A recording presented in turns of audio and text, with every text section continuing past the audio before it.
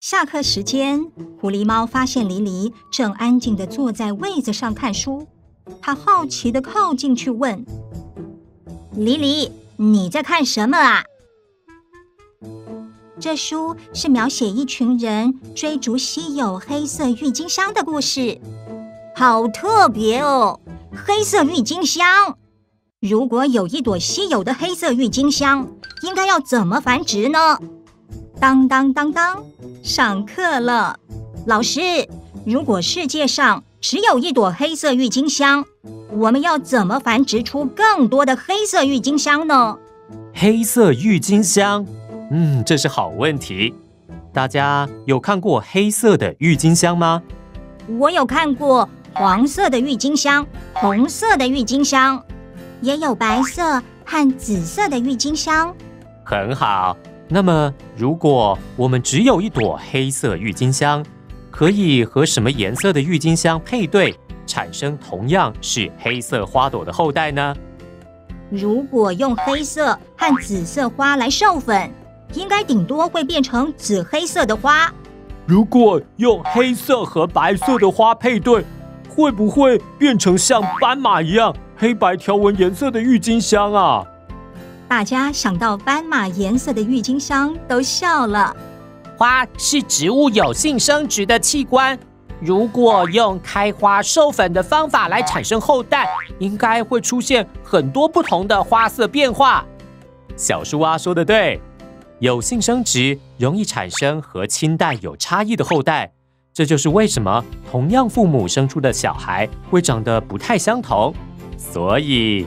所以，想让黑色郁金香再种出同样的花色，不能用有性生殖的方法。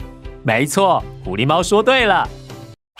下列何种生殖方式产生的子代和亲代特征差异最大？A. 海星的断裂生殖；B. 酵母菌的出芽生殖；C. 黄金葛的营养器官繁殖；D. 苹果以种子繁殖，正确答案为 D。那用无性生殖就可以喽。郁金香是球茎类植物，用球茎繁殖就是无性生殖的一种方法。小树蛙说的对，无性生殖可以保存清代的优良品种，因此特殊颜色的黑色郁金香。采用营养器官繁殖可以达到这个目的。那听起来无性生殖比有性生殖好处更多，因为优良品种可以被保存下来。那如果是不优良品种，也用无性生殖的方式，后代也是不优良品种喽。麦麦的说法很有趣，请大家想一想：如果有一棵果树，每年结出来的果实都很酸。你想要改良品种，让它结出香甜的果实，应该采取什么样的生殖方式？是有性生殖还是无性生殖呢？想要改良品种，就要采用有性生殖的方式，因为有性生殖才容易产生变异，产生不同的子代。很不错，所以想要吃到香甜的果实。我们应该取原本这棵果树的枝条来扦插繁殖，还是用种子繁殖呢？这一题，老师想请黎黎回答。种子是植物有性生殖产生的，想要改良品种，应该要用种子繁殖。答对了，这样大家都分别了解有性和无性生殖各有其优点了吗？知道了。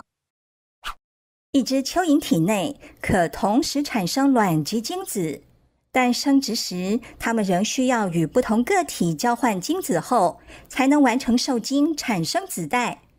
下列关于蚯蚓生殖及子代的相关叙述，何者最合理？A. 上述生殖方式属于无性生殖。B. 子代的染色体数目与亲代不同。C. 子代具有亲代的部分特征。D. 子代行减数分裂，增加体细胞。